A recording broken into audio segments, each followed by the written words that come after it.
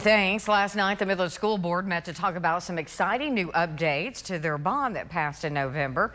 News West 9 Sydney Jolivet has been combing through that information, and I'm sure one of those updates they talked about was that new elementary school. Is that right, Sydney? That is correct, Crystal. There were actually three new campuses mentioned in the board meeting and much more. Board members mentioned that equipment has already been purchased for the new elementary school, and that means it may arrive up to six months in advance ensuring that the school will open on time.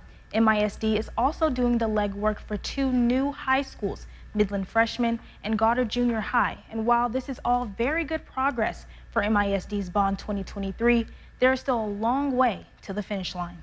There's a lot of preparation uh, in the meantime of getting ready to build uh, any infrastructure.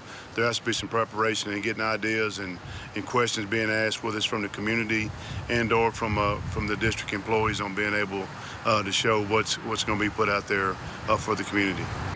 And even with the long road still ahead, many members of the community, including Board President Bishop, are excited for what this bond will mean for education across Midland.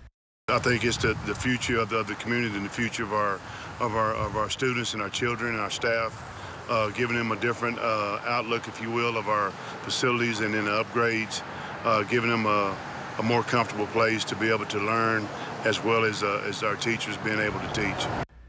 Now, the next steps for MISD in the bond process involve negotiations with contractors about the two high schools and figuring out their next group of project packages. We'll keep you up to date right here on News West